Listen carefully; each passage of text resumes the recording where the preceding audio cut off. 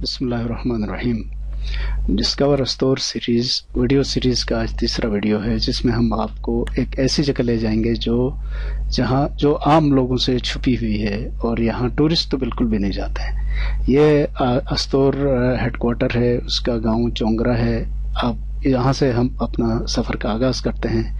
ये चोंगरा सर्दियों में इस तरह लगता है जब बर्फ़ पड़ती है और हरियाली ना हो तब। चोंगरा से जस्ट थोड़ा सा आगे जाएँगे तो बहुत ही खूबसूरत नीम चरागा टाइप का एरिया शुरू होता है, जिसको बखट कहा जाता है। और इसमें आपको खूबसूरत तरीन एरिया नज़र आ जाएगा, जिसके दोनों तरफ़ पहाड़ हैं और जंगल हैं वहाँ पर। बखट भी सर्दियों में बिल्कुल वीरान सा होता है। अलबत्ता कुछ हरे भरे जो एवरग्रीन प्लांट्स हैं, आगे जंगल के वो हरे भरे नज़र आते हैं। और बखट से थोड़ा सा आगे जाते हैं तो रामा के करीब का एरिया है ये। बीरी के नाम से पहचाना जाता है। और इसके फ़ौरन बाद हम रामा पहुँच जाते हैं। ये रामा का मरकज है, जो बहुत बड़ा ग्राउंड है और यहाँ पर हरियाली है हरियाली है, दरख्त हैं, पानी है, सब कुछ है। और यहाँ आके आप अजीब सी फरहत महसूस करते हैं। रामा से आगे जो हमारा सफ़र है ये रामा के आ, सर्दियों की एक झलक है। रामा से हमारा सफ़र लेफ़्ट साइड पे होगा और वापसी राइट साइड पे होगी। जो लेफ़्ट साइड से हम जाएँगे तो रामा लेक की तरफ़ सफ़र है। यहाँ गाड़ी भी जाती है, घोड़े भी हैं, पैदल भी जा सकते हैं। आप जैसे चाहें ट्रैकिंग करें। हमने पैदल जाने का सफ़र फैसला किया था। ये सामने रामा लेक तक के का सफ़र या उसके रास्ता नज़र आता है। ये पुल है जो एक छोटे से नाले को क्रॉस करता है। और ये एरिया जहाँ इस वक्त हम खड़े हैं, ये खुटी मोस का एरिया कहलाता है। यहाँ एक तरह से निरल या चरागा है जहाँ लोग अपने मवेशियों को लेकर तीन महीने के लिए आते हैं। यहाँ से थोड़ा सा आगे जाएँगे तो ये रास्ता है। इस रास्ते के थ्रू आप रामा को वो पीछे छोड़ के आते हैं। यहाँ से ग्लेशियर से अंदर से पानी के निकलने का मंजर साफ़ नज़र आता है और ये बहुत ही गतला पानी है। ग्लेशियर का पानी होता ही गतला है। उसके बाद ये थोड़ा सा आगे बढ़ते हैं तो ये रास्ता है, वही रास्ता। लेकिन यहाँ बर्फानी तोदे साल भर आपको नज़र आएँगे। इसके अलावा छोटे छोटे तालाब हैं जिनको कौए का, की झील, किसी को, किसी और जानवर की झील के नाम से मौसम किया गया है। और ये रामल लेक के आमद की इब्तदाई इतला होती है। और इससे ये हम और आगे बढ़ते हैं तो ये बहुत ही खूबसूरत एक और छोटा सा तालाब नज़र आता है। वो तालाब रामा झील से मुतसिल ही है। और सयाहों का इतना रश होता है गर्मियों में कि ये रोड खचा खच भरी हुई होती है। ज़्यादातर पैदल लोग आते हैं, कभी कोई घोड़ों पर आते हैं। आगे पहुँचते हैं तो ये रामा लेक है और रामा लेक के एक तरफ़ आपको फिर लोगों की आर्जी रिहाइश का नज़र आएगी, जहाँ जानवर पाले जाते हैं तीन महीने के लिए। ये जो है, दूर से ली गई रामा लेक और उसके साथ ग्लेशियर की तस्वीर है। यहाँ जो लाइनें थी, वो हमारा रूट है। उसके थ्रू हम अपनी ट्रेकिंग करेंगे और हमारा ट्रेकिंग दो दिनों पर मुश्तमिल होगा। पहले मरहले में हम सीधा आगे जाएँगे और ये एक झील है, उससे आगे छोटी सी, उधर पहुँच जाएँगे। ये ज़िले बाला झील कहलाती है। इस झील में गर्मियों में भी आधा हिस्सा इसका बर्फ़ से ढका होता है और इसी से थोड़ा सा और आगे जाएँगे तो हरियाली खत्म हो जाएगी और सिर्फ़ और सिर्फ़ पत्थर और बर्फ़ नज़र आएगी। वहाँ तक आज हम जाके वापस आएँगे और उसके बाद फिर हम ग्लेशियर को क्रॉस करके दूसरी तरफ़ जाएँगे। तो हम उस पॉइंट पर, आज की ट्रैकिंग के उस आखिरी पॉइंट पर पहुँच चुके हैं और यहाँ से आगे हरियाली बिल्कुल खत्म है। आगे आपको आइस के हज़ारों साल पुराने बड़े बड़े जखीरे नज़र आएँगे। ये जो बिल्कुल हमारे सामने है, इसके जरा सा पहले से एक छोटा सा दर्रा है, वो क्रॉस करके हम तरिशिंग जा सकते हैं। जबकि हमारे सामने इस वक्त जो नज़र आता है, ये बहुत बड़ा जखीरा है ग्लेशियर का और आइस ही आइस है। ऊपर ये चोटी जो इस वक्त बादलों से छुपी हुई नज़र आती है, ये चौंगरा पीक कहलाती है और चौंगरा पीक खुद भी एक नंगा पर्वत का एक पोर्शन है। और चौंगरा पीक में बाद में आपको दिखाऊँगा, वो जब बादल छट जाएँगे तो क्लियरली नज़र आती है। यहाँ से अमूमन जो माउंटेनियर्स हैं, इधर चढ़ाई नहीं करते लेकिन बहरहाल ये एक मंजर तो है। उसके बाद हम राइट साइड पर हमारे सामने फिर आपको हरियाली सी नज़र आएगी, हल्की लाइन वहाँ हम जाने वाले हैं दूसरे हिस्से में। तो वहाँ पर और एक खूबसूरत वादी हमारे इंतज़ार में होगी। और वहाँ का सुकून लाजवाब है। उधर तक ले जाएँगे। बीच में ये हमारा ग्लेशियर है। और रामा ग्लेशियर ही कहा जाता है इसको। और रामा जंगल जहाँ से खत्म होता है, वहाँ से ग्लेशियर शुरू होता है। और ये जाके पहाड़ के दामन पर खत्म हो जाता है। इसकी लंबाई तकरीबन नौ किलोमीटर है। और ये साल ब साल नीचे, डाउन की तरफ़ जाता है। और मट्टी और पत्थर इसको ढक रहे हैं। क्योंकि ग्लोबल वार्मिंग का असर ज़ाहिर इस पर भी पड़ा है। तो आज से कोई 35-40 साल पहले ये आइस के उभरे हुए बड़े बड़े पोर्शन हुआ करते थे, जो अभी बहुत कम दिखाई देते हैं। जब हम यहाँ से गुजरेंगे तो आप इसको नोटिस करेंगे। यहाँ पर आते वक्त तो इस पोर्शन में मेरे साथ, मेरे दो भतीजे और एक कज़न का साथ रहा है। और ग्लेशियर क्रॉस करने का जो मरहला होगा वो मेरे कोलिग्स के साथ होगा। यहाँ तकरीर करने को जी चाहता है हम तो बाय प्रोफेशन ही लेक्चरर और प्रोफेसर होने की वजह से तकरीर तो हर जगह झाड़ना या लेक्चर देना पड़ता है। तो मुझे यहाँ पहुँच के एक शदीद एहसास हुआ, एक चीज़ का वो ये था कि शुरू में या जवानी में जब, बचपन में जब हम इधर आते थे तो ये बहुत ही वेजिटेटेड एरिया हुआ करता था। अब ये बहुत ग्लेशियर भी डाउनफॉल की तरफ़ जा रहा है वेजिटेशन भी नापेद होती जा रही है। ये सारे मौसमियाती तब्दीलियों के असरात यहाँ हम वाज तौर पर देख सकेंगे।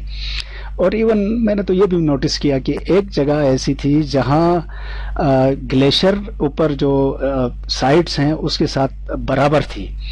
अब वो पिघल कर तकरीबन 25 फुट नीचे आ चुकी है। तो आप इसी से अंदाज़ा लगा लें 20-30 साल में 20-30 फुट नीचे आ गई है ग्लेशियर तो इसका मतलब सालाना एक फुट इसमें कमी वाकई होती है। और ये सारा ज़ाहिर है पोल्यूशन प्लस ग्लोबल वार्मिंग का नतीजा है। तो हमारे जो हज़रत टूरिस्ट भाई हैं, उनसे गुजारिश ये है कि आप इधर आए सिर्फ़ देखने के लिए। अब मैं ये जो रास्ता बता रहा था, ये जो आपको कुछ पौधे नज़र आ रहे थे, वहाँ से आप ऊपर जाएँगे तो तेरिशिंग की तरफ़ जा सकते हैं। ज़्यादा से ज़्यादा एक घंटा लगता है और वहाँ से बकरियाँ लेकर लोग इधर आते हैं, यहाँ से बकरियाँ लेकर उधर जा सकते हैं। जबकि हम इस ग्लेशियर के उस तरफ़ जाएँगे, वहाँ मैं एक और पॉइंट आपको दिखाऊँगा। वहाँ से एक पैदल ट्रैक है, उसके थ्रू फेरी मेडोज जाया जा सकता है। लेकिन आजकल ये थोड़ा सा मुमकिन नहीं रहा। है अब ये मंजर देखिए नेचर के पास जाके जब आप गुफ्तगु करते हो तो एक तरफा गुफ्तगु होती है। नेचर तो आपको इतमान के साथ जवाब देता है, वरना आप बस नेचर के अपने आप को हवाले कर देते हो, यहाँ कुछ भी करो, कोई पूछने वाला नहीं होता। है इसलिए हमने भी अपने बचपन की कुछ यादें ताज़ा करने की कोशिश की। बचपन में इसी तरह बर्फ़ में फिसलते थे या स्केटिंग करते थे। यहाँ आके आज मौका मिला बहरल बहुत अरसा होने की वजह से ये जो महारत थी वो हमसे छिन गई है।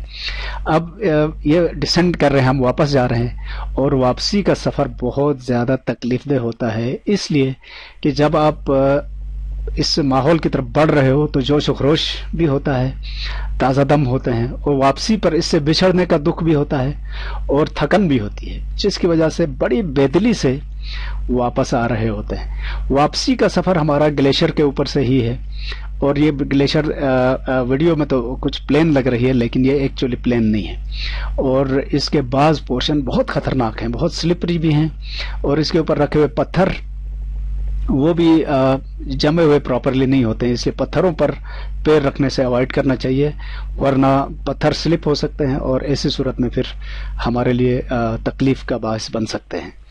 दूसरी बात ये ये भी है कि हमने सन ब्लॉक्स या दूसरे फुल एहतमाम नहीं किया था, जिसका खमियाजा हमें भुगतना पड़ा। शुरू में जब शाम को हम वापस पहुँचे हैं अपने ठिकाने पर तो हमारे चेहरे का रंग चेंज हो गया था। दूसरे दिन चेहरे से खाल उतरने लगी थी, अजीब कैफियत हो गई थी। इसलिए बहुत ज़रूरी है कि जब आप ऐसी ट्रैकिंग पर निकलते हैं तो सबसे पहले आरामदेह और सॉफ्ट और हल्के शूज़, जुराबें और एक स्टिक और सन ब्लॉक और सन ग्लासेस ये बहुत ज़रूरी है। और इसी तरह आप अगर ज़्यादा वो महसूस ना करें, बोझ महसूस नहीं करें तो गर्म कपड़े भी अपने साथ रखें। ताकि मौसम के ख़राब होने का कोई यहाँ वार्निंग नहीं होती है। किसी भी वक्त मौसम ख़राब हो सकता है और फिर ऐसे सूरत में तकलीफ़ का बायस बन सकता है। बहरहाल, अल्लाह का शुक्र है कि हमारे इस सफ़र में कोई ऐसी बात नहीं हुई।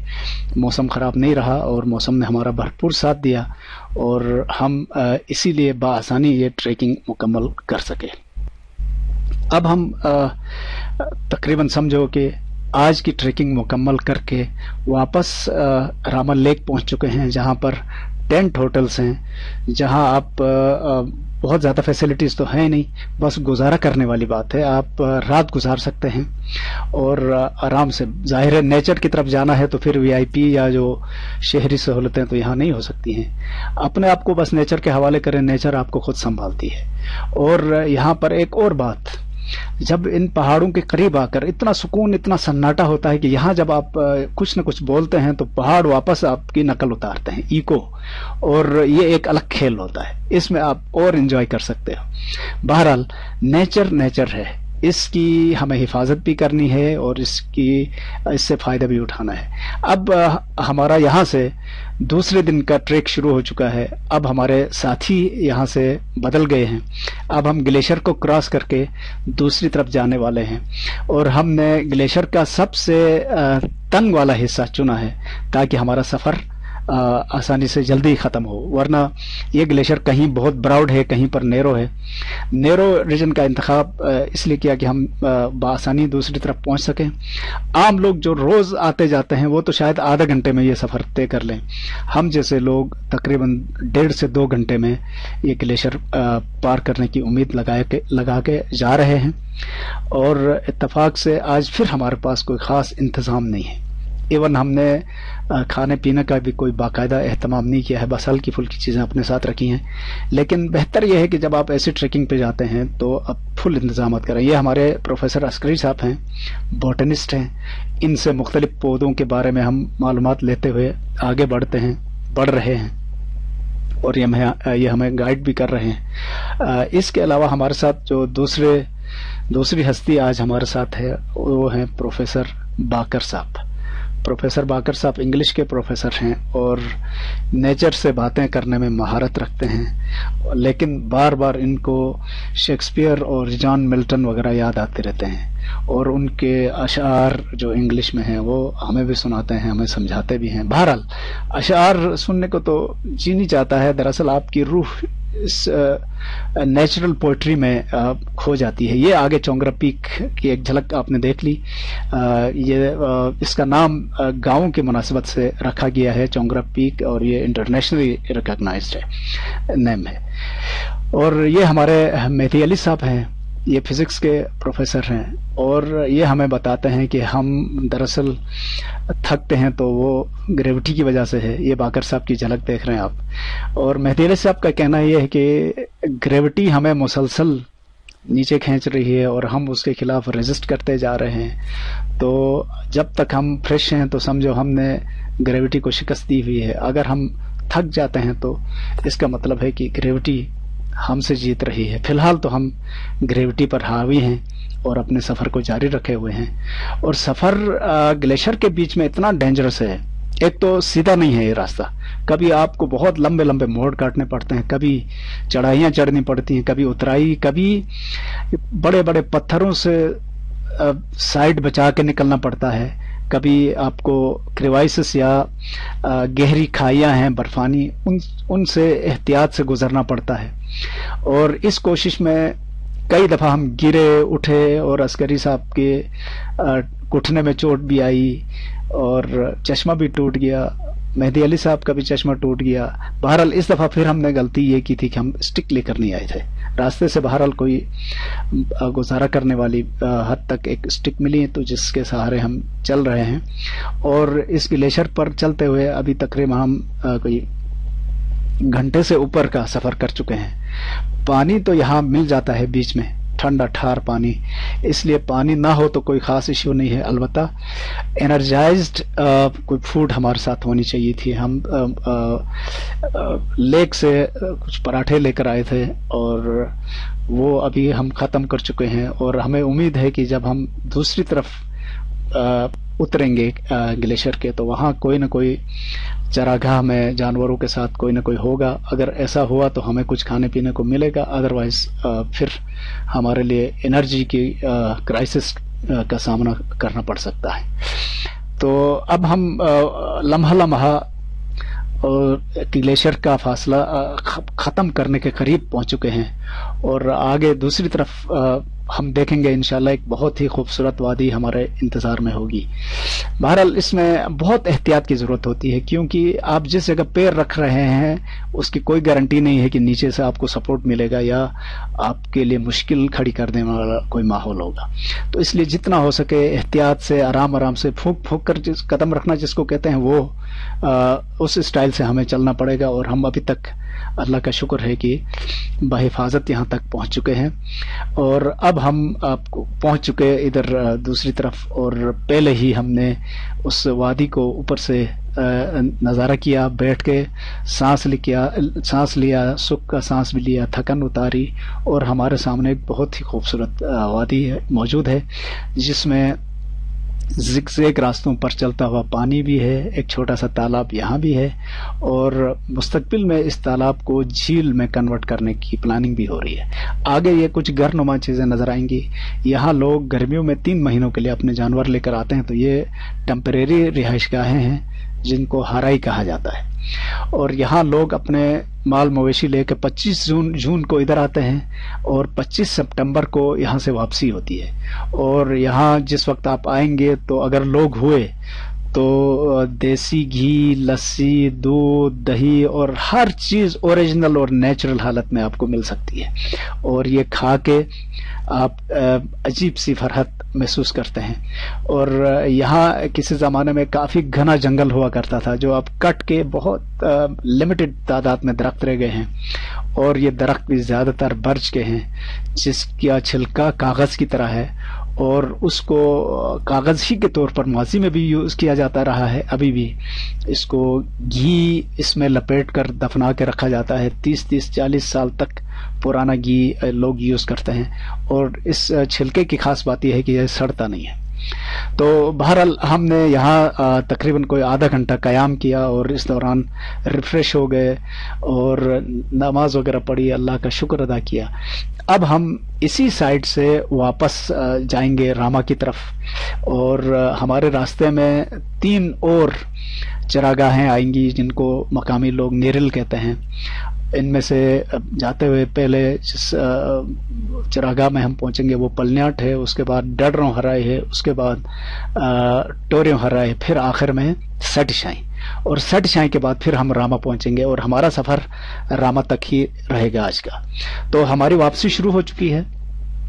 और वापस आने को तो जी तो नहीं जाता है, लेकिन फिर भी जाना तो है। क्योंकि हम बगैर किसी अहतमाम के आए हैं, वरना यहाँ रात गुजारने का मज़ा ही और होता। ये लश ग्रीन पहाड़ हैं और बता लैंड स्लाइडिंग की वजह से बीच बीच में पत्थरों के ढेर हैं जिन्होंने इसको थोड़ा सा खराब किया है। अदरवाइज़ ये बहुत ही खूबसूरत मंजर है। और अस्तौर, जिला अस्तौर की ये एक पहचान है कि यहाँ सब्जा बहुत ज़्यादा है। और बहरहाल साल में एक दफ़ा अगर किसी को मौका मिलता है तो ऐसी जगहों की ट्रैकिंग बहुत मुफीद हो सकती है। आपकी रूहानी सुकून, आपको जिस्मानी वर्जिश और नेचर को देखना, अल्लाह की निशानियाँ तो ये हैं। और ये भी हदीस में भी है, आयात में भी है कि सिरोफिल अर्ज़ कहा गया है। तो अगर आप इस दुनिया में घूमते फिरते रहते हैं तो फिर आपको कुदरत की निशानियाँ नज़र आती हैं और सुबहान अल्लाह अल्हम्दुलिल्लाह कहने को जी चाहता है। तो हम अब अपनी मंजिल के आखिरी मरहले के बहुत करीब पहुँच चुके हैं। ये टोरियो हराय कहलाता है। यहाँ बहुत ज़्यादा पत्थरों के ढेर में, बीच में दरख्त भी हैं और जहाँ पत्थर नहीं हो, वहाँ हरियाली भी है। पानी की एक छोटी सी नहर भी सब्जा और ग्लेशियर के दरमियान फासला पैदा करती हुई नीचे की तरफ़ आ रही होती है। और हमारा जो सफ़र है वो भी उसी नहर के किनारे किनारे है। अब हम ये पहुँच चुके हैं, यहाँ नीचे हमें रामा नज़र आ रहा है। और यही वो जगह है जहाँ से आप ऊपर, लेफ़्ट की तरफ़ ऊपर जाएँगे तो एक पहाड़ी क्रॉस करके दूसरी तरफ़ पहुँचते हैं तो वो हरचोनिरल है। वहाँ से इतनी ही ऊँची एक और पहाड़ी है, वो क्रॉस करेंगे तो फेरी मेडो पहुँचते हैं। फेरी मेडो तक पुराने लोग यहाँ से जाके एक तरह का ट्रेड करते थे। यहाँ से चीज़ें उधर ले जाते थे, वहाँ जो दस्तियाब चीज़ें वो लेकर इधर आते थे, लेकिन अब ये रास्ता मतरूक हो चुका है। अब हम पहुँच चुके हैं सटशाई और सटशाई में दो तरफ़ आपको मनाजिर नज़र आएँगे। एक तरफ़ आप देखेंगे कि दरख्त काफ़ी फासले पर हैं ये सामने हमारे। और ऐसा लगता है कि ये किसी ने प्लांटेशन की है इनकी, जबकि दूसरी तरफ़ घना जंगल है। इसकी वजह भी क्लाइमेट का डिफरेंस है। जहाँ दरख्त थिन थे, वहाँ धूप डायरेक्ट पड़ती है तो पानी की कमी निस्बतन हो जाती है। जबकि यहाँ थिक फॉरेस्ट जिस तरफ़ नज़र आता है, यहाँ धूप कम पड़ती है, लिहाजा ज़मीन हमेशा गीली रहती है अक्सर, और इसी वजह से ये जंगल घना है। अब यहाँ जो आपको घर से नज़र आते हैं, ये भी वही टेम्परेरी रिहाइश गाहें हैं, जहाँ लोग तीन महीने तक अपने जानवरों के साथ रहते हैं। और अब हम उससे आगे बढ़कर वापस रामा मेडो पहुँच चुके हैं।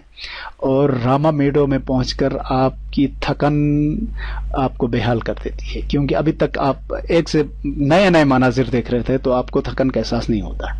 यहाँ आके फिर आपने वही मंजर देखना शुरू किया, इसलिए आप थक जाते हैं। थकने के बाद तो ऐसे सब्जे पर लेटना ही होता है और इसके साथ हमारा वीडियो ख़त्म हो जाता है। थैंक यू वेरी मच अल्लाह हाफिज़।